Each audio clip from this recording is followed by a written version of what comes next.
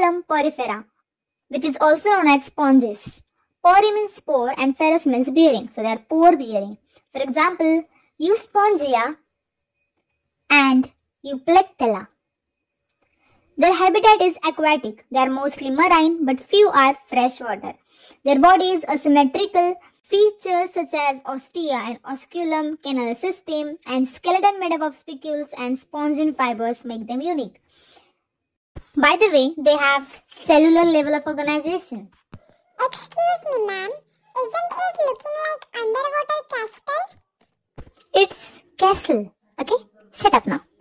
Body cavity is of four types asconoid, syconoid, leuconoid, and rhagon.